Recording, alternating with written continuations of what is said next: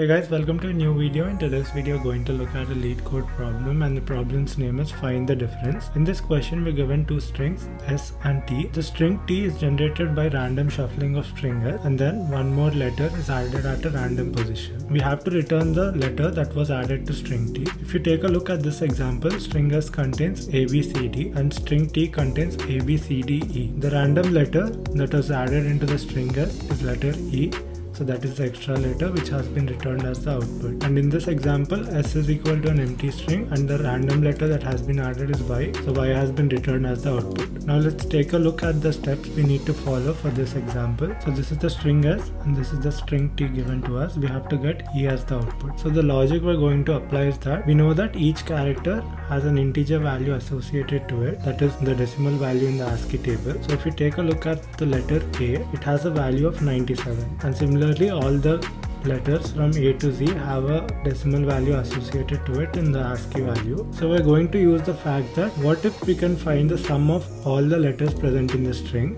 by adding each character because once you add each character it will take the integer value of that letter and add it. What I'm going to do is I'm going to find the sum of all the letters in the string S and we'll do the same to find the sum of all the letters in the string t. First we're going to find the sum for the string s and store it in a variable.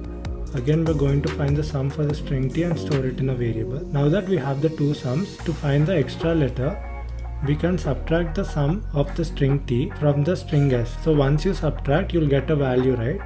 That value we're going to store it in a variable called result and that result value is an integer value, right? You can convert that integer value into a character and return it as the output. So that will be the last step. So let's take this example. First we have to add a plus b plus c plus d that will give you the values. As you can see in this table here a to d right for the string s. It has the a has the value 97 b has 98 c has 99 and d has 100 so you can add these four values and store it in a variable as sum. Similarly you can do it for t sum.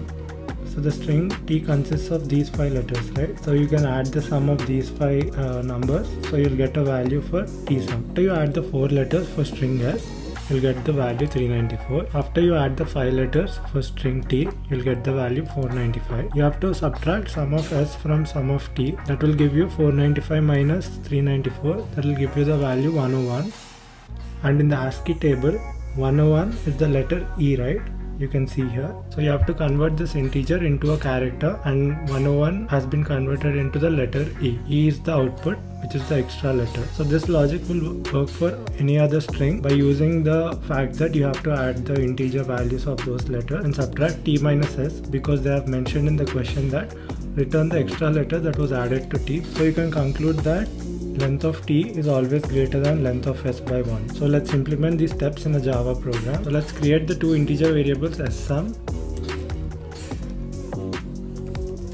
and tsum.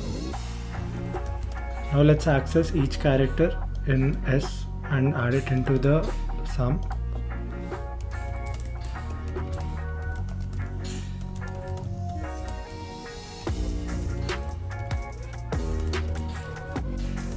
So in each iteration, let us add that letter into the sum. The sum plus is equal to dot char at of i. Let's do the same for the t sum. For that we have to iterate through the string t from left to right.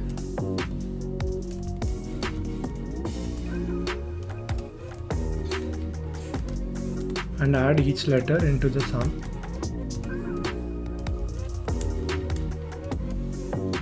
Now that we have the two sums, we have to subtract t sum minus s sum and store it inside an integer variable. I'm going to name it result.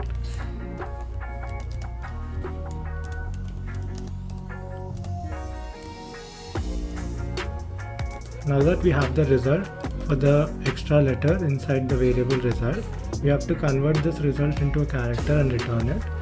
So you return typecast it with char and return the result. So let's run the code. We're getting the expected output. Let's submit the code. There you have it, the solution has been accepted. To increase the runtime, you can first convert this character into an integer. Let's do the same for this character for the string t. Now let's submit the code. you notice that the runtime has been improved. That's it guys, that's the end of the program. Thank you for watching and I'll see you in the next one.